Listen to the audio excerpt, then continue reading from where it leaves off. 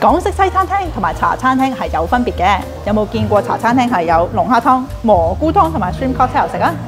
所以今日我嚟呢間呢係一間港式西餐廳。老闆 Victor 咧就話佢自己係好自私嘅，不過廚師本來就應該自私噶啦。佢想將所有自己最中意嘅味道咧都擺晒落餐牌入邊。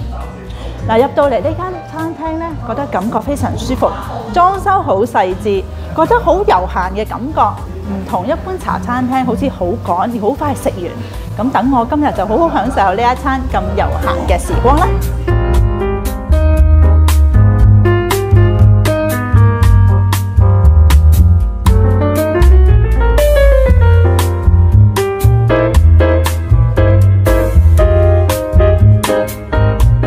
頭先明明係介紹呢度係港式西餐廳，咁當然會有港式嘅食物啦。你睇呢個蝦多士同埋冰鎮奶茶就夠晒香港情懷啦啩！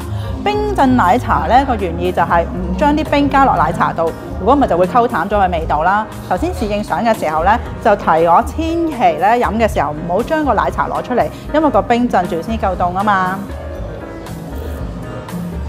嗯，比起普通奶茶咧，真係特別濃郁嘅。港式嘅味道又點少得一個鐵板扒餐呢？啱啱咧，侍應就將個汁淋喺上面，嗰啲喳喳聲嘅感覺咧，真係將我兒時嘅回憶啊帶翻晒翻嚟。啊，medium rare 嘅牛扒配龍蝦味，嗯，serve and turf，應該超享受。食完港式嘅味道之後咧，餐廳仲有驚喜俾大家㗎，國際性嘅美食，德國豬手、印尼雞扒飯。